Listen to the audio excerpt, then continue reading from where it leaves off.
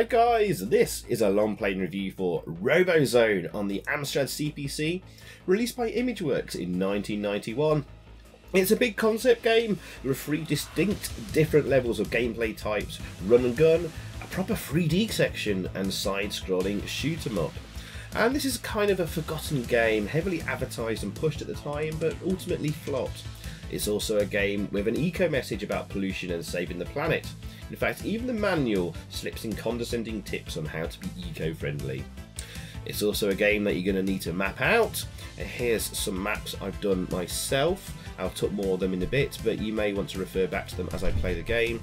And I'll provide uh, links in the description below to, so you can open them up and perhaps watch in a second monitor to follow my progress. So let's get the game started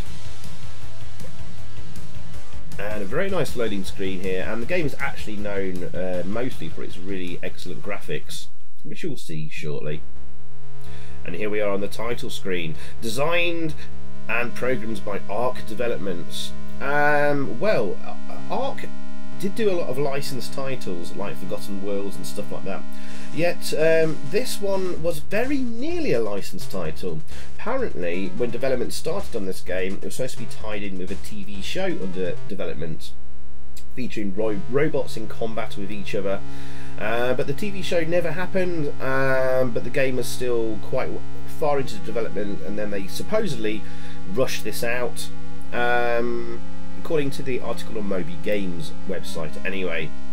And Arc Developments were a British game developer founded by a group of former Elite employees in 1988 and they closed their doors around 1996. Uh, we'll get into who may be the programmers and graphics artists on the game in a bit, but let's talk about the story of the game and what's going on. Now, apparently, we're in New York in the year 2067. Pollution has destroyed and crippled the planet, uh, and the rich elite live on floating cities out at sea. The rest are left to fend for themselves in the ruins. Uh, large robots called the Wolverine were constructed to patrol the deserted cities, and most of them were destroyed by the remaining humans though. Uh, then came the invasion of the scavengers, huge insect-like robots destroying and taking anything in their way, mostly metal and alloys and from that they've constructed a huge dome-like structure in what used to be Central Park in New York called the Furnace. And the more they take, the stronger they become, and the more pollution is created too. Uh, apparently there might be aliens or something, who knows. Anyway, uh, you control the last remaining Wolverine robot who has broken his programming. The inbuilt computer, known as the Oracle, is damaged beyond repair and his weapons are weak, which will need to be built up again. If the pollution level continues to increase, Wolverine will soon be unable to function. His only course of action is to somehow repair his systems and destroy the furnace and the scavengers before it is too late. The, story actually is much, much larger in the manual, but I'm not going to read it outside. That, that's an abridged version of the story I've put together for you guys. To be honest with you guys, I won't worry too much about it. You just control a robot blasting things over three different levels of different gameplay types. So we're going to start off now on level one. And it's kind of a side-scrolling run and gun shoot 'em up. Um, apparently this is 9am on a New York subway. And uh, the area surrounding the furnace has been completely sealed off.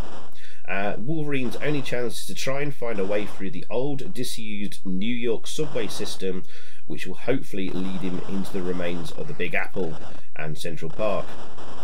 And you can see there the Wolverine we're controlling there. It's obviously modelled on, or shall we say, influenced by, well, the ATST or Scout Walker or Chicken Walker from uh, Empire Strikes Back and Return of the Jedi, the Star Wars movies, and maybe a bit of ED209 from Robocop 2. And as you can see, guys, some really lovely graphics there, and really nice animation on the robots. Quite a nice big sprite, uh, decentish sound effects, nice smooth scrolling, and plenty of action happening on the screen.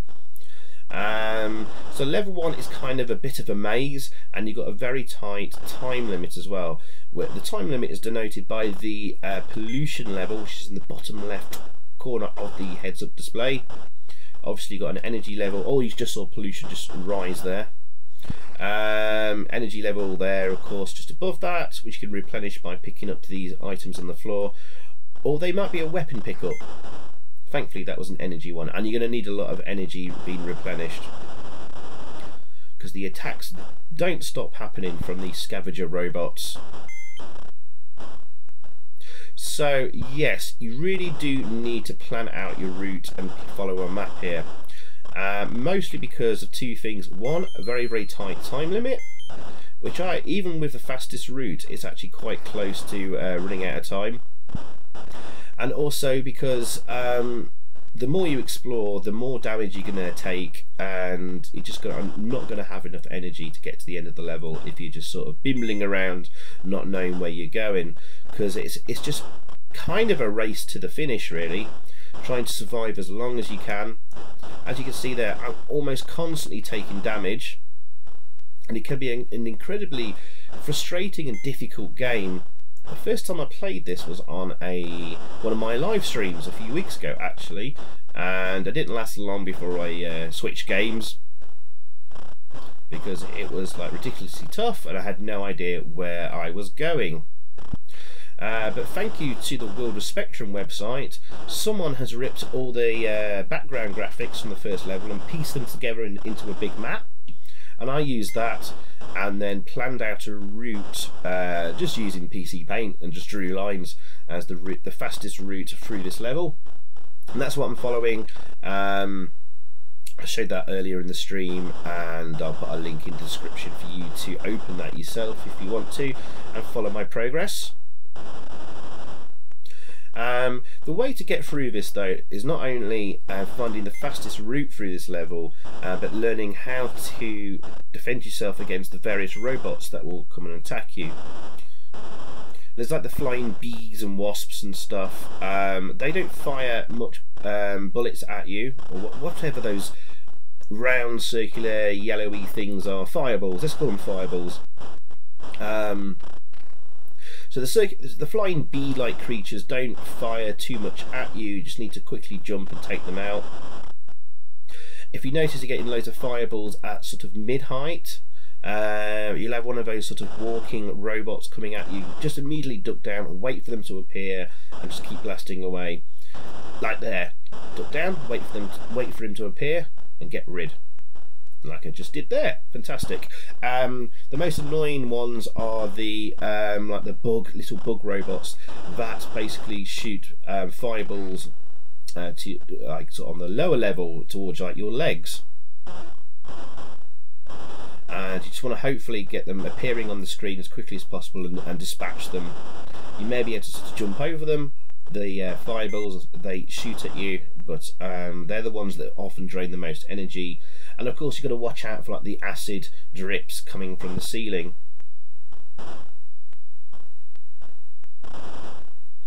Haven't seen one of the bug-like robots in a while, actually. I'm sure we will very shortly. There's one. Oh! So, just quickly dispatch them. You might be able to jump over fireballs. I thought one of those walking robots would have appeared there. They didn't, so I just carried on moving on. Um, yeah, so it controls very nicely. Um, decent uh, responsive controls uh, and smooth sprite movement, and of course their lovely animation. It controls perfectly well. It's just quite overwhelming everything that's happening and how you're being attacked. Um, I think a lot of people probably would have been put off this game on the first level I don't really like games that you have to make maps for and plan routes and stuff like that, um, because there's not much visual clues in like the background graphics as to where you are in the uh, level. So this would have been quite um, quite difficult to map um, from hand, anyway, at least. And I doubt many people um, got beyond the first level. In fact, when I was researching this game, guys, I didn't find any other long plays on the internet apart from uh, an Amiga playthrough. But there isn't a um, uh, a long play of the Speccy or Commodore 64 version on YouTube, certainly not one for the Amstrad. And any video footage that does exist for the Speccy and Commodore 64 versions is just of this level and then nothing further. Which is a shame because the next two levels are rather impressive and rather good. I'm not saying this first level is particularly bad, but it's off-putting um, due to how difficult it is and having to basically map out things and how difficult it would be to map it out. So well done to the World of Spectrum guy who basically ripped all the graphics and piece them together. Um, I, I, think if I didn't have that, I probably would have given up on this game because um, I don't think I'd have the patience to map out this particular level by hand.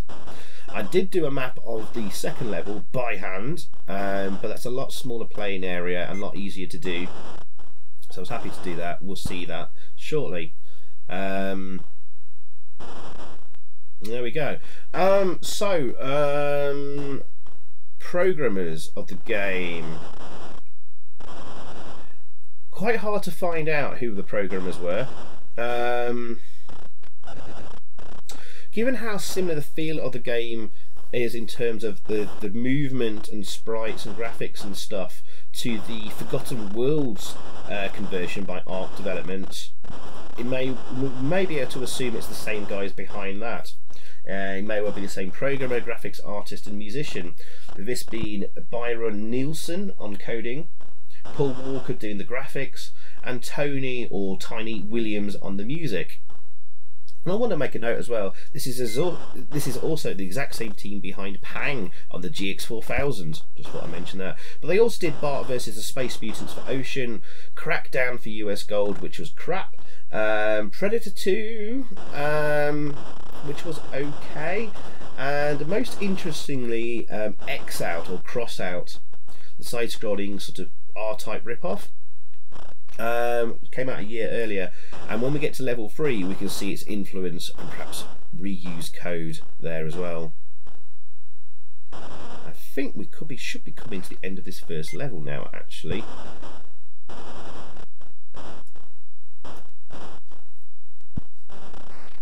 Yeah, not too far, and there'll be a, a boss battle at the end of this level. And uh, as you can see, guys, the pollution level is already quite high there. Yes, here's the boss. And We finally reached the boss with the pollution level quite high and the time limit running out. Definitely need to map through this. Um, but this actually is quite an easy boss to defeat because you can actually destroy his um, bullets being shot at you. Uh, so just keep doing this up and down, firing up and down kind of motion that I'm doing. Um, there is one bullet he will shoot out, sort of like towards like head height, which you will have to duck. I'll uh, point it out when it happens. There, that that's the one. Keep ducked for that one. Um, I have had a couple of bugs here happen where the game crashes after defeating the boss because there was still an enemy robot spawned, like one of the flying bee wasp type things, and that caused the game to crash. Should, apparently, that should have cleared off before the boss appeared. Um, I had to replay the first level a few times to get through it, so watch out for that. And there we go, that's the boss done. A nice explosion effects at the end there.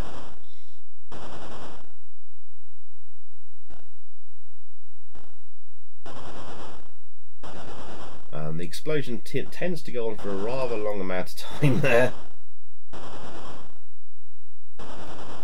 But uh, okay, we're going to be moving on to level 2 now, basically, called The Streets of New York, and it's the 3D section of the game. Outer defences defeated, prepare for the streets of New York. Now here we go. This is the 3D section and probably quite quite impressive actually how it's done. Very very very smooth, nice big colourful graphics as well. Um, now Wolverine has to navigate the streets of New York to find the scientist simply known as Tank who originally designed and built the Wolverine. Uh, first of all, here's the first item we need to find in the game, which is actually very close to the start the communications device or the Oracle computer and interface. So we're looking for the scientist known as Tank. He originally designed and built the Wolverine. Find him and he will give you the rocket boosters which will allow you to fly and get into the furnace. Um, first though you need to find the Oracle computer and communications device which we have just now. Uh, without it you can't interact with Tank who's in his own kind of Wolverine unit and he will likely try and destroy you without it. Um, and you'll also need to find the EFA unit, which I don't know what that is and what that means. It's not explained in the manual very well. But I think it's basically the rocket boosters, and Tank will basically fix them and get them working for you, and then you can move on to the third level. Um, so, yes, um, this is basically sort of a 6 by 6 grid. Um, so, um, and also the background graphics at the end there you can see a city skyline which will that, that will tell you which which direction you're focusing. So if you see the yellowy red uh, city, city skyline there that means you're moving north. And you have different background graphics for the other directions too. So I built a map for this again link in the description below.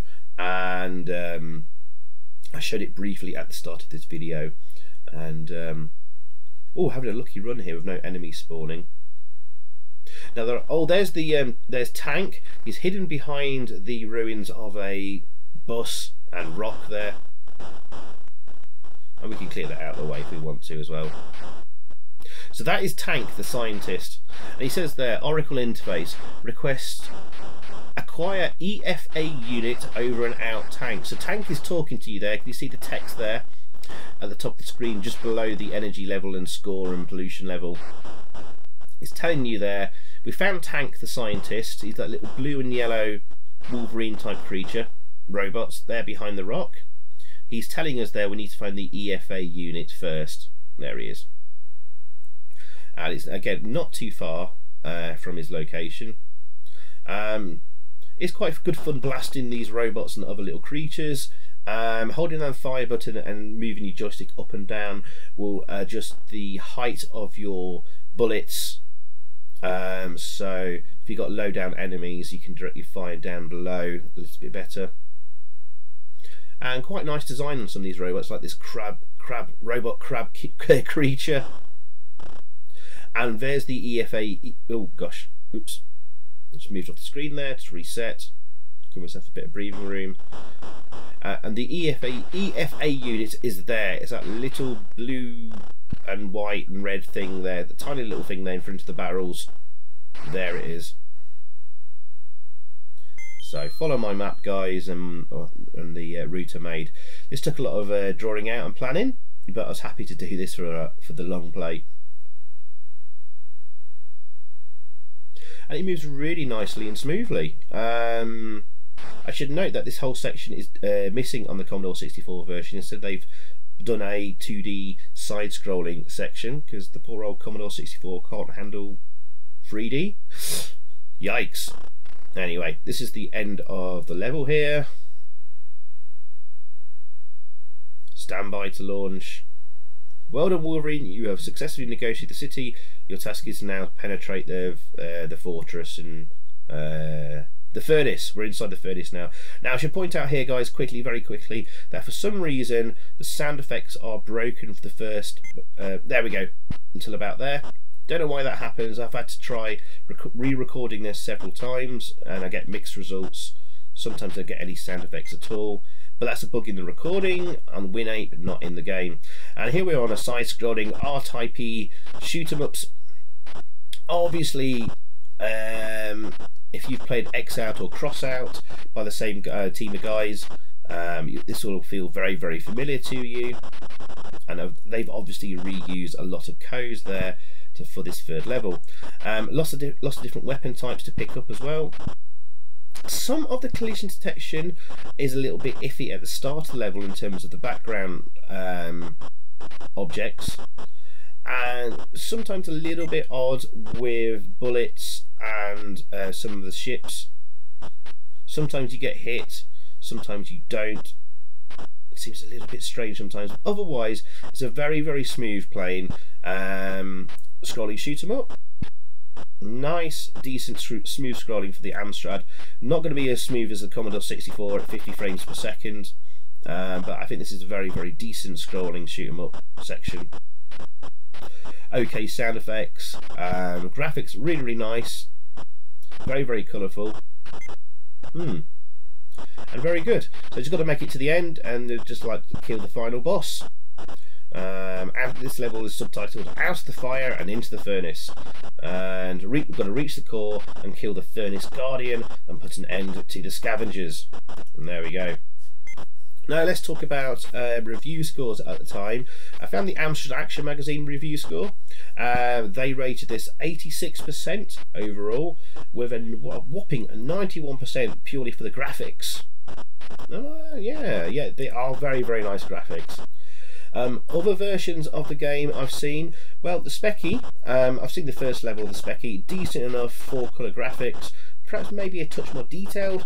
Uh, so very similar to the Amstrad uh, version, but not as colourful and perhaps not as nice looking graphics overall. Um, I've not seen any video footage or screenshots of what level 2 and level 3 looks like. Nowhere on the internet I've found so far. Anyway, uh, same with the Commodore 64 version. The level 1 graphics aren't as nice, but it does play quite a bit faster. Um, and oh, here's the boss. Um, and as I mentioned earlier, the level 2, the 3D level, was completely different. It's in 2D in a side scroller. Um, poor Commodore 64 couldn't handle that, apparently. Mm. And the Amiga and Atari ST versions, um, they reviewed very, very poorly at the time. But I think probably the Amstrad version is probably the best of the 8 bit home conversions. Now with this boss battle here, you got to wait for his mouth to open and shoot the gun that's behind the mouth. Um, if you shoot the boss anywhere on his like head or whatever, you, you, you notice your score will go up, but you're not actually causing him any damage. You've got to shoot that gun behind the mouth. It's quite difficult to do. Um, to get through this level without losing uh, all your energy and all that kind of stuff. You do get, I think, two continues if you do die. But I'm going to do this without um, using the continue.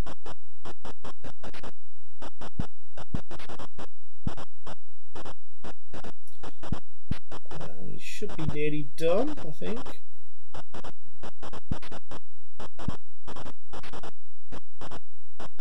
So just keep moving around in that circular pattern. Watch out for the bullets. Watch out for the uh, other enemies that spawn quite close to you. Get rid of them first. Don't risk it.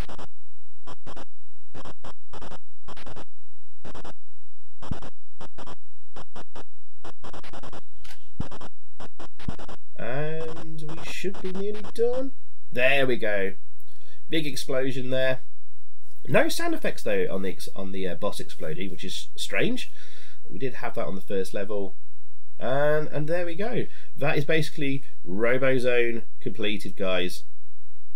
And so let's uh, we'll see what the ending screen's like, and I'll give my final review score. As Wolverine flies away, you can see the burnt out remains of the reactor. Mission successful, over and out tank. People once again populated the planet, and pollution was a thing of the past. The scavengers, where? Finally defeated. She's been worked. Oh dear. mistake on the final screen there. So overall, guys, I'm going to give this uh, seven and a half out of ten. Valiant attempt, but there we go. Thanks for watching, guys, and see you all again very soon. Goodbye. So thanks for watching guys, I hope you enjoyed that. If you did, please click a like below, leave a comment and also subscribe if you haven't already. And over that way, there's another video for you to check out. Xyphoe, out.